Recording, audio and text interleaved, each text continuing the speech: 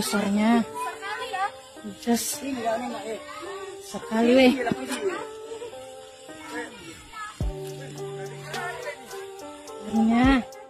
Seperti terlihat dalam video amatir warga. Reptil, jenis buaya ikan dengan ukuran panjang lebih dari 2 meter ini muncul di tepi sungai sambil berjemur. Bahkan, sesekali buaya pemakan ikan ini melintas di jalan hingga ke pekarangan rumah warga.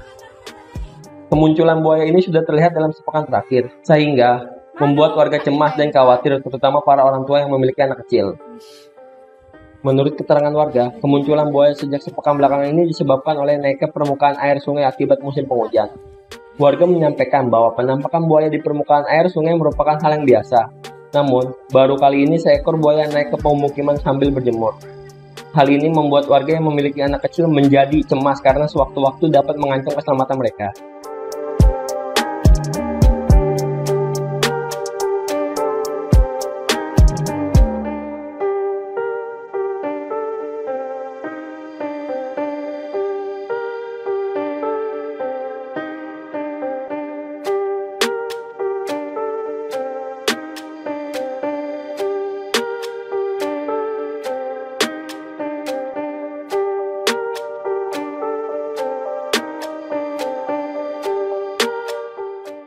Bang, semenjak air naik udah hampir seminggu ini. Tapi baru kali ini Mm-mm. dia berani naik ke pemukiman rumah warga.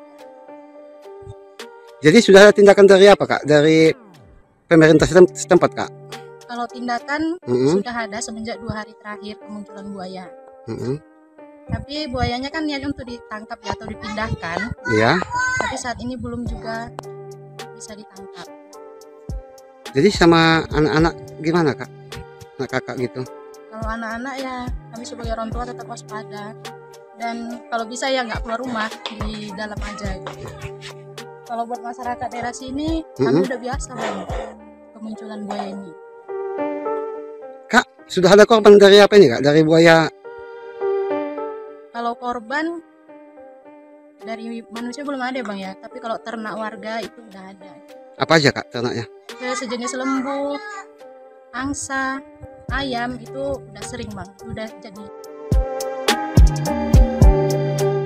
Sementara itu, Pauji, Sekretaris Desa Aek Korsik, menjelaskan bahwa sungai yang dikenal dengan nama Parit Lubuk Buaya meskipun merupakan habitat alami buaya ikan, hingga saat ini belum ada warga yang menjadi korban. Namun, hewan ternak warga seperti ayam, itik, dan angsa sudah sering dimangsa oleh buaya tersebut.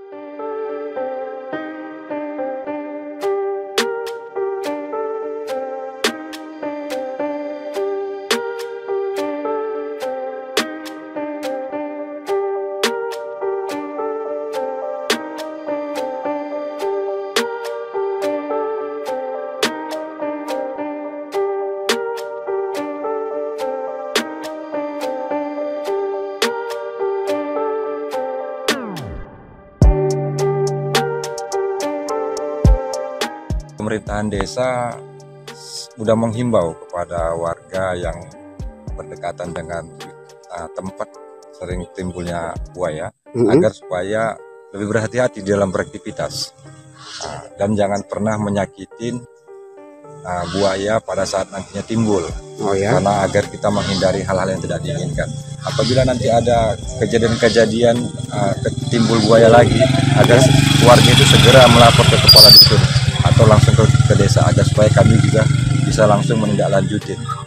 Nah, namun di sini kami juga sudah konsultasi dan juga ada koordinasi kepada pihak kecamatan Ya. uh, dan juga Kapol Pos Ya. bagaimana nantinya ini kami ke depannya ya mudah-mudahan kalau dari kami sih kalau nanti air ini turun pasti Ya. buaya itu udah nggak bakalan timbul lagi ini sejauh ini karena memang air lagi naik hujan terus tiap malamnya jadi memang sesuatu yang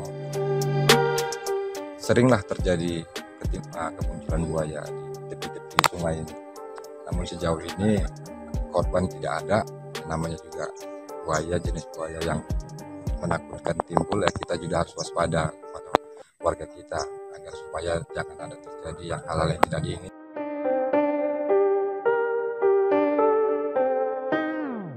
Meskipun warga sudah terbiasa dengan kemunculan buaya ikan di sungai tersebut, demi keselamatan warga, pihak desa telah memasang tanda himbauan kepada masyarakat yang tinggal di desa sungai. Warga dihimbau untuk selalu berhati-hati dan waspada saat beraktivitas di sungai.